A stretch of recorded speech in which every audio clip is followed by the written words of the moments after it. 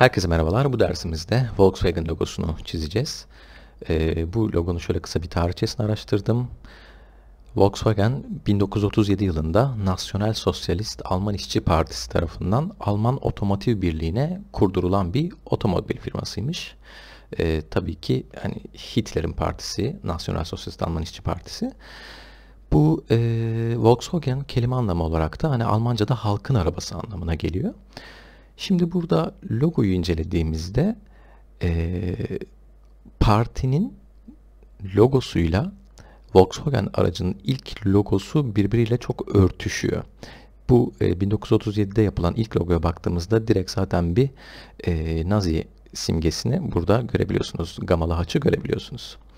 Aynı şekilde fabrikada e, çekilen fotoğraf ve fabrikanın burada amblemi e, fakat hani e, araçların üzerinde bu amblemi ben göremedim. Bazı fotoğraflara baktım. Onları göremedim. Fakat bu tanıtım ya da lansman dediğimiz kısımlarda, alanlarda görmüş olduğunuz gibi plakaların üzerinde vesaire benzer simgeler yer alıyor. Birazcık daha şöyle tarihsel sürecine baktığımızda işte 1937'de e, çok böyle Nazi formu var. 39'da artık şu e, bayrakta görmüş olduğumuz formu görüyoruz yavaş yavaş. Şuradaki dişliler, çarklar vesaire. E, fakat yani en başından itibaren bir e, VW var. Yani simgeyi adamlar daha ilk başta belirlemiş ve onu bugüne kadar taşımışlar. Zaten e, 1945 sonrası logo e, artık böyle formuna oturuyor ve 2000'lere kadar neredeyse hiç bozulmadan e, günümüze kadar geliyor. Şimdi biz bu logoyu Illustrator'da nasıl yapabiliriz buna bakalım. Öncelikle bu logoyu incelediğimizde burada bir tane V ve W harfi var. E, fakat bunlar bir yazı karakteri değil. Bunlar e, çizgilerle oluşturulmuş belli bir açıya sahip e, düz doğrular. Şimdi şöyle bir şey yapalım. Pen tool ile şuradan şuraya kadar bir e, çizgi atayım. Bu çizginin kalınlığı şöyle işte 14-15 olsun. Şimdi bunu Window Properties kısmından şuradaki dereceyi değiştirerek döndürelim. Şöyle koyalım.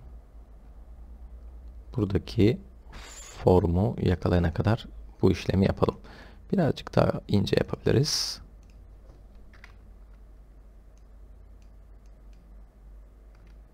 Evet. Zaten buradaki V şöyle aşağıdaki V'yi de oluşturuyor görmüş olduğunuz gibi. Yani burayı hem V hem W e, çizerek yapmaya çalışmayın. Şöyle 294 derecelik bir açıyı yakaladım. Benim için uygun. Şimdi alt tuşuna basık tutarak şöyle bir tane daha kopyalıyorum. Şuraya getiriyorum. Tamamdır. Şimdi bu ikisini de şöyle Ctrl C, Ctrl F yaparak üst üste kopyalarım ve Transform Reflect diyerek OK deyip şöyle yansıtırım. Bunları da şuraya atalım.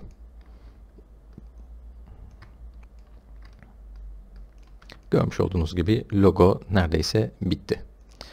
Şöyle tam merkezi hiza alan bir daire formunu da oluşturalım. Shift ile beraber yapıyorum bunu. Shift ve Alt'la beraber yapıyorum. Bunu da şu özellikleri verelim. Birazcık ince yapalım. Evet. Şimdi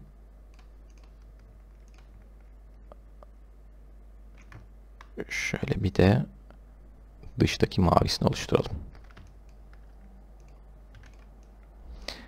Şöyle çekelim kenara.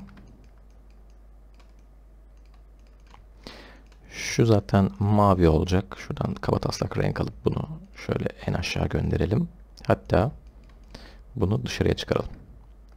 Şunların bütün görünümlerini %100'e getirelim ve e, Object Expand diyerek stroke özelliklerini bozup bunları bir dolgu haline getirelim.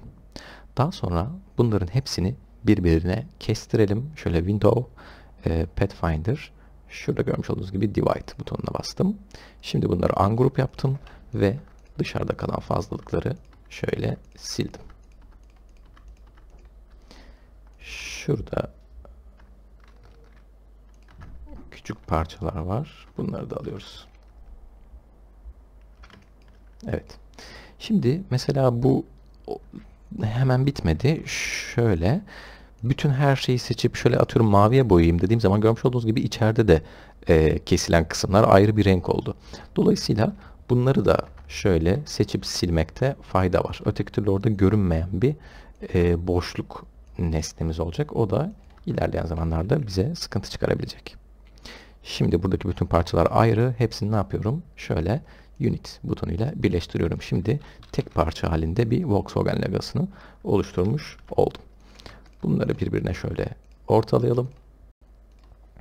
Bunun rengini şöyle gri verelim. Görmüş olduğunuz gibi logomuz tamamlandı. Tabi bu e, logonun içeriye doğru şöyle gölge ya da 3D diye tabir edebileceğimiz kısımları da var. Volkswagen bazen gölge kullanıyor, bazen 3D kullanıyor. E, 3D'leri tabii 3 boyutlu programlarda yapmak daha mantıklı. Fakat Illustrator'da yapmak isterseniz burada Effect, 3D, Extrude and Bevel'a girip Preview'u açabilirsiniz. Şunların hepsini şöyle sıfır yapalım.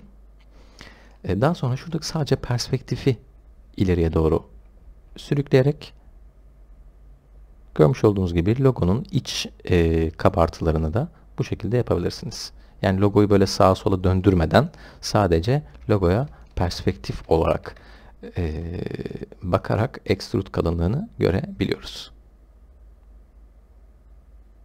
OK diyelim. Daha sonra bunu şöyle e, Object, Expand ve Ungroup diyelim. Bir daha Ungroup diyelim. Şu sadece üstte kalan kısmı şöyle beyaza boyayalım. Gölgeleri e, ya da kalınlığı bu şekilde gözüksün. Bunu da şöyle grup haline getirelim ve bitirelim. Azıcık daha şöyle griymiş. Tam bembeyaz değil de. Evet. Görmüş olduğunuz gibi Volkswagen logosunu da bu şekilde bitirmiş olduk. Ee, sonraki derslerde görüşmek üzere.